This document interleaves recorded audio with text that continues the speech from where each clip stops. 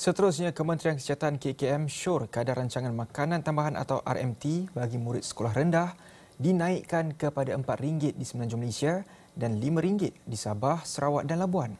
Menteri Kesihatan Kerry Jamaluddin berkata, peruntukan Kementerian Pendidikan RM2.50 di Semenanjung Malaysia dan RM3 di Sabah, Sarawak dan Labuan tidak mencukupi untuk tampung kos bahan mentah mengikut menu RMT.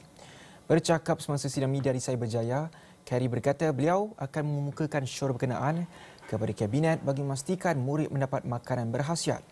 Tambahnya berdasarkan pemantauan kepatuhan menu program RMT yang dijalankan bahagian pemakanan KKM dari Januari hingga Jun lepas, hanya 61% sekolah dipantau mematuhi menu RMT.